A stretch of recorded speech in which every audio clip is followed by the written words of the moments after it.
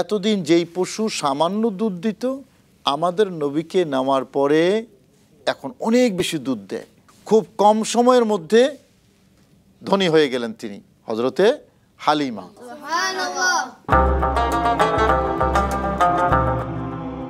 সেই যুগে আরব দেশে একটা প্রথা চালু ছিল যে সন্তান জন্ম দিত যারা তারা অনেক সময় সন্তানকে দুধ পান না করিয়ে অন্য দাত্রী বা দুধ মা যাদেরকে বলা হয়, তাদের কাছে দিতেন লালন পালন করার জন্য এবং তার বিনিময়ে কিছু পারিশ্রমিকও দিতেন। তো যারা আসে, তারা ওই পরিবার অন্বেষণ করে ওই পরিবারের সন্তান, যেই পরিবারে একটু সম্পদ আছে, সম্পদশালী পরিবার, যাতে পারিশ্রমিকটা ভালো পায় দুধ পান করানোর বিপরীতে। কিন্তু নবীজির আব্বাজান নবীজির আম্মাজান এত তো পয়সাওয়ালা ছিলেন না। ওই ধনী লোক যারা আছে তাদের সবার শিশুরা এক একজন নিয়ে গেল। আমাদের পেয়ারা নবী শিশু নবী হজরত মোহাম্মদ সাল্লাল্লাহু আলাইহি ওয়াসাল্লাম তিনি রয়ে গেলেন কেউ নিচ্ছে না। এখন যারা বিভিন্ন গোত্র থেকে বিভিন্ন জায়গা থেকে এসছে সবাই সন্তান পেল একজন ছাড়া। তিনি হজরতে হালিমা আমাদের পেয়ারা নবী করিম সাল্লাহ আলিয়াল্লামকে রিসিভ করলেন। এখন চলে যাবেন। ঘটনা ছিল, তিনি যেই বাহনে আরোহণ করে এসেছেন, ওই পশুটা খুব দুর্বল ছিল। সবার পেছনে পেছনে এসেছে।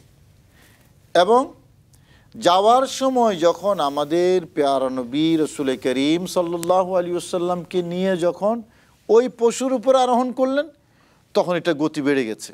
এখন সবাই দেখে অবাক সঙ্গীর সাথে যারা এসছে। তো তখনই হজরতে হালিমা বুঝে গেলেন যে এই বাচ্চার ভেতরে নিশ্চয় কোনো বরকত আছে। নিয়ে গেলেন। ওই এলাকার মানুষেরা তাদের পেশা ছিল তারা বকরি বা ওঁট এটা প্রতিপালন করে তারা সেখান থেকে দুধ আহরণ করে দুধ বিক্রি করত। হজরতে হালিমারও পশু ছিল। এতদিন যেই পশু সামান্য দুধ দিত আমাদের নবীকে নামার পরে এখন অনেক বেশি দুধ দেয়।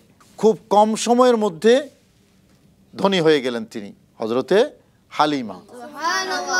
হালিমার কিন্তু আরেকজন সন্তান ছিল একজন হালিমার নিজের আরেকজন আমাদের পেয়ারা নবী রসুল করিম সাল্লাহ আলিয়াল্লামার শিশু দুইজন দুগ্ধ শিশু দুধ পানকারী শিশু একজন নিজের সন্তান আরেকজন আমাদের পেয়ারা নবী, রসুল করিম সাল্লাহ আলিয়াল্লাম নবীজি যখন দুধ পান করতেন, তখন এক, একটা দুধ পান করতেন, আরেকটা রেখে দিতেন ভাইয়ের জন্য।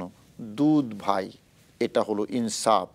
আমাদের পেয়ারা নবী, রসুল করিম সাল্লাহ আলাইহি ওয়াসাল্লাম শৈশব অবস্থায় পৃথিবীকে এই শিক্ষা দিয়েছেন। এখন আমার একটু একটা নাচ শুনতে মনে চাইতেছে। তোমাদের কি মনে চায়? কার কাছ থেকে শুনব আমরা? তুমি পড়বে। ঠিক আছে। রহমতে আলম নবী নূরে মুজাসসাম। রহমতে আলম নবী নূরে মুজাসসাম। সাহাবিরা আতর বানাই ওই নবীজির ঘাম। সাহাবিরা আতর বানাই ওই নবীজির ঘাম। শুনো, মানো, জানো কেমন আমার নবীজি? যাহার পাগল চন্দ্র, সূর্য, তারকারাজি। আরও শুনবানি সুন্দর কাহিনী, আরও শুনবানি সুন্দর কাহিনী। জান্নাতেরি রুমে রুমে লেখা নবীর নাম। জান্নাতেরি রুমে রুমে লেখা নবীর নাম। রহমতে আলম নবী নূরে মুজাসসাম। রহমতে আলম নবী নূরে মুজাসসাম।